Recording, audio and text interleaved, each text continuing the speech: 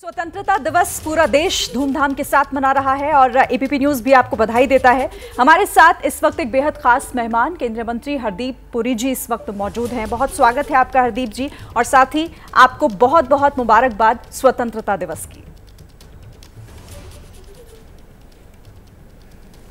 धन्यवाद। आपको भी मुबारक, आपको शुभकामनाएँ और आपके माध्यम से आपके दर्शकों को भी बहुत बहुत शुभकामनाएँ। शुक्रिया। हरदीप जी प्रधानमंत्री नरेंद्र मोदी का भाषण 90 मिनट तक आ, आज उन्होंने जिस तरीके से तमाम बातों का ज़िक्र करते हुए देश को संबोधित किया। सबसे पहले तो मैं आपसे जानना चाहती हूँ कैसा लगा आज आपको प्रधानमंत्री नरेंद्र मोदी का ये भाषण? देखिए माननीय प्रधानमंत्री जी जब भी देश को संबोधित करते हैं लाल किला से तो उसमें एक बड़ी पावरफुल पॉलिटिकल मैसेजिंग होती है।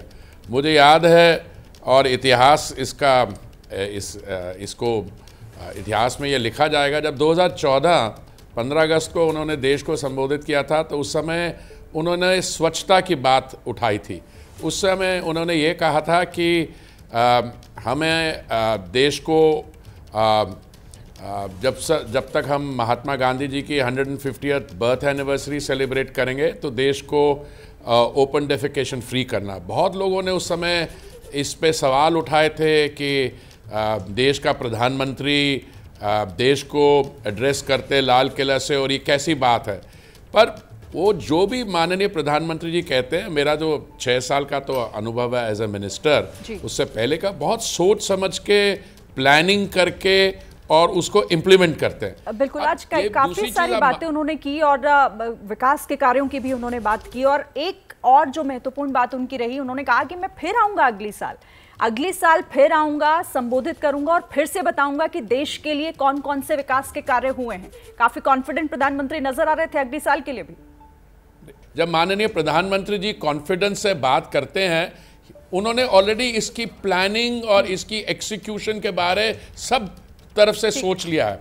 उन्होंने ये कहा कि अगले अगली टर्म के अंदर वी विल मूव पहले हम दसवें स्थान पे थे 2014 में अर्थव्यवस्था दुनिया विश्व भर में अब हम पाँचवें स्थान पर पहुँच गए उन्होंने क्या ती, हमारी तीसरी उनकी तीसरी टर्म के दौरान हम्म। हम we will be among the top three economies now ये these words are very carefully chosen वो क्यों कहते हैं? बिकॉज़ देखिए किसी भी कंट्री की इकोनॉमी और हमारी खास करके।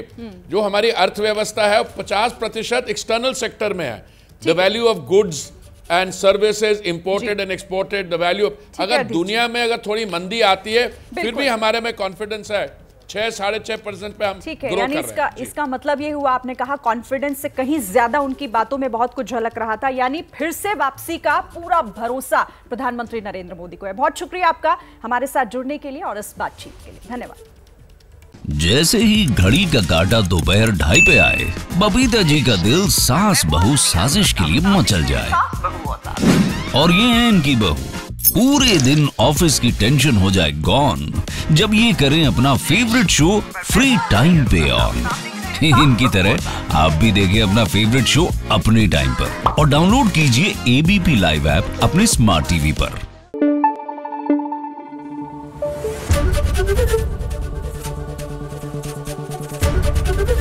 एबीपी न्यूज़ आपको रखे आगे.